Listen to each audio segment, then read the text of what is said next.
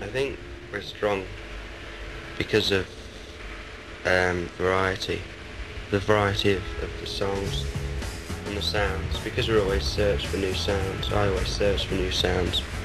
I'm not satisfied with perhaps every song having a riff. Uh, I'd like to. I like experimenting with different sounds that might may not even sound like guitar. You know, they might sound like a Hammond cranked up, or you know things. So it's basically quite experimental. That's a strength, I think.